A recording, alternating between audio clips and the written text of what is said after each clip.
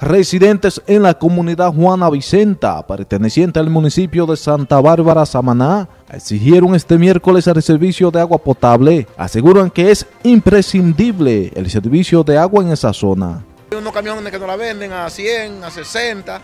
Qué difícil. Aquí ya tú sabes, los ríos medio incómodos para uno buscar, las mujeres para lavar un lío.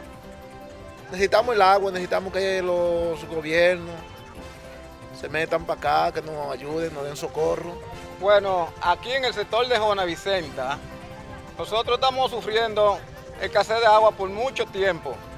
Y aquí la comunidad carga agua de los ríos en lata, en cubeta. Las mujeres se levantan a las 5 de la mañana, no tienen nada para lavar ni luz. Es decir, lavan a mano. Aquí nunca la comunidad aquí se, se, ha hecho huelga, ha hecho de todo y el gobierno no ha puesto caso omiso aquí a la comunidad de Juana Vicenta y es pasando escasez de todos los lados. Aquí se está viviendo los tiempos anteriores, del año, de los años 80, 90, cuando no se andaba en caballo, en bueyes por aquí, ya estamos viviendo a lo mismo. Porque es buey y buey, aquí nadie le pone caso, los políticos nada más van, quieren a uno tiempo de campaña. NTN, su noticiero regional, Robinson Blanco.